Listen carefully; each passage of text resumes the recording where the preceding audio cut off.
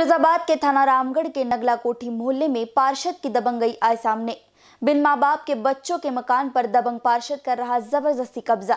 पार्षद की दबंगई का वीडियो आप साफ़ देख सकते हैं कि किस तरह पार्षद के गुर्गे दीवार पर चढ़कर दीवार को तोड़ते नज़र आ रहे हैं। दरअसल मामला दिनांक 24 दिसंबर का है, जब क्षेत्रीय पार्षद और उसके गुर्ग गुड्डू के मकान पर कब्जा करने पहुँचे। गुड्डू के माता पिता का देहांत हो चुका है। गुड्डू के तीन बड़े और भाई हैं, जो कि अलग अलग रहते हैं। इस मकान में गुड्डू और गुड्डू की दो बहनें रहती है, जिनमें से एक मानसिक विक्षिप्त है। दबंग पार्षद का कहना है कि गुड्डू के बड़े भाई आसिफ ने यह मकान मुझे बेच दिया है, जबकि उक्त मकान स्वर्गीय पिता अब्दुल लतीफ के नाम है। अभी कोई भी हिस्सा नहीं हुआ तो आसिफ कैसे बेच सकता है? गुड्डू ने बताया कि दबंग पार्षद ने घर में घुसते ही गाली गलौज की और मकान को तोड़ना शुरू कर दिया, जिस पर हमने 112 नंबर पर कॉल किया।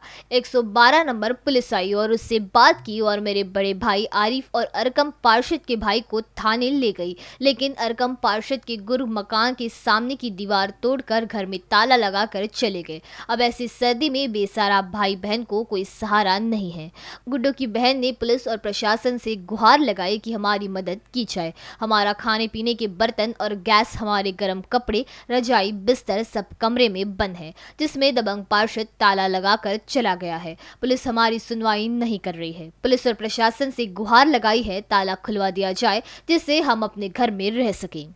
आप देख सकते हैं कि वीडियो में पार्षद खुद बोल रहे हैं, मैंने ताला लगाया है। इससे आप अंदाज़ा लगा सकते हैं कि पार्षद कितना दबंग है। पार्षद की दबंगाई सामने आई। फिरोजाबाद से reporter Rihan Ali NBC news Nagpur.